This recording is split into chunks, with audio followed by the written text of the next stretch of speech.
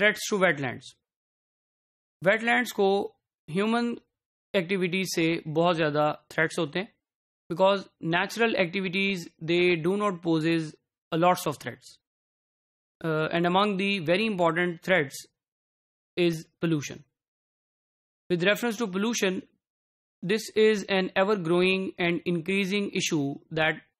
uh, affects every aspect of the life with reference to wetlands uh, the pollution particularly they poses serious threats to the stability of wetlands.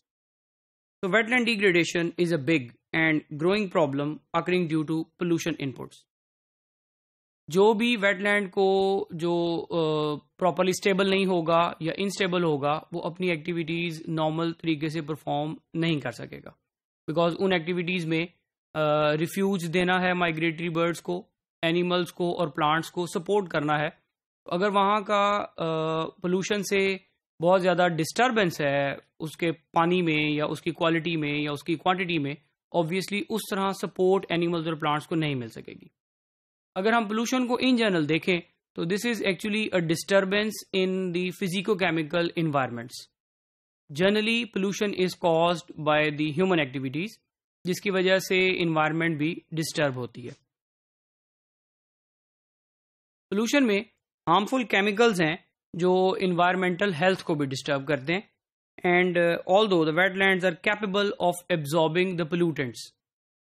अगर अगर एक चीज़ हम देखें कि हर चीज़ की एक लिमिट होती है सो so, वेटलैंड्स का भी पोल्यूटेंट्स को एब्जॉर्ब करने की एक पर्टिकुलर कैपेसिटी है. जब उस कैपेसिटी से चीज़ uh, बाहर हो जाती है तो वो पोल्यूटेंट्स बहुत ज़्यादा हैजर्ड्स काज करते हैं.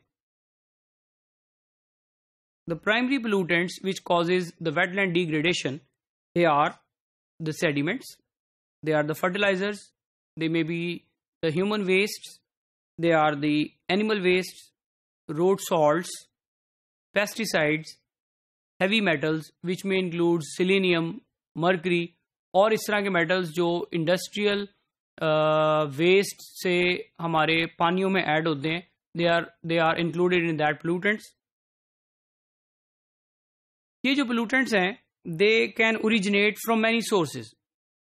because pollution is the major source so pollutants obviously उसके साथ लिंक है और ये वेरियस सोर्सेज से आ सकते हैं like run off from the urban agricultural and mining area air pollution from the cars, factories, and power plants, old landfills and dumps that leak toxic materials or substances because जितने भी factory areas हैं अब, वो कोशिश ये की जाती है कि उनको वाटर बॉडीज के साथ या किसी वाटर चैनल के साथ उसकी बिल्डिंग की जाए। उसकी रीज़न ये है कि जितना भी वेस्ट होता है, वो वाटर बॉडीज में डंप होगा और ऑब्वियसली वाटर बॉडीज उसकी वजह से डिस्ट्रॉय हो रही हैं डैमेज हो रही हैं। बेसिकली वहाँ पे वेस्ट मैनेजमेंट परफॉर्म नहीं की जा रही। Pollution in the wetland is a growing concern affecting drinking water sources and biological diversity. This drainage and runoff from the fertilized crops and pesticide used in the industry introduce nitrogen and phosphorus nutrients and other toxics like uh, mercury to the water sources. जिस तरह अभी हमने बात की कि ये जितने भी पोल्यूटेंट्स हैं चाहे वो इंडस्ट्रियल वेस्ट की सूरत में है चाहे वो किसी पेस्टिसाइड के इम्पैक्ट में है, या वो कोई ऐसे कंपोनेंट्स हो सकते हैं जो डैमेजिंग हैं, वो तमाम की तमाम चीज़ें हमारे हेल्थ को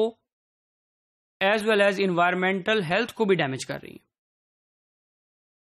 These chemicals can affect the health and reproduction of species and they are posing a serious threat to the biological diversity